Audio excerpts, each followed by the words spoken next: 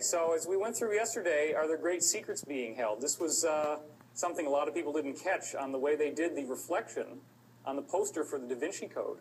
And of course, what is the eye in the triangle on top of the pyramid? Uh, is there a message is being given that we're not fully getting access to?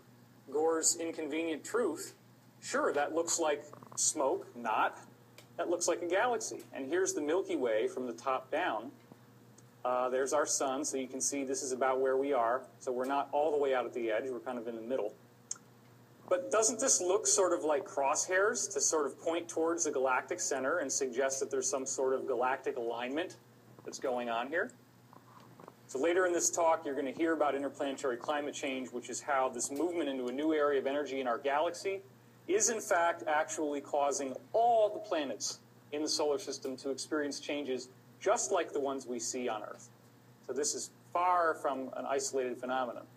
There's also these new physics discoveries that keep leaking out, and they always relate to sacred geometry. The idea in this case of the dodecahedron, which is 12 pentagonal faces that kind of looks like a soccer ball if you make it into a sphere. They actually found out, uh, these scientists uh, discovered that the background radiation from when the universe was first created has arranged itself into this odd geometric pattern. And that's been proven. So then the question is okay, what is the force that would cause that type of geometry to emerge in the formation of the universe? As we're going into the 2012 subject, of course, crop circles have been on everybody's mind.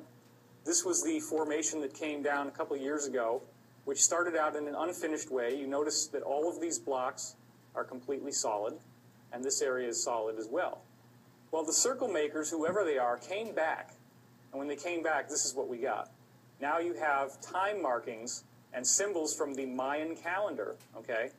And the alignment of these winged discs in terms of what markers they're pointing to, which corresponds to the Mayan system and the Aztec system, gave you an exact time reference of the length of time between when this was created and 2012, the end of the Mayan calendar.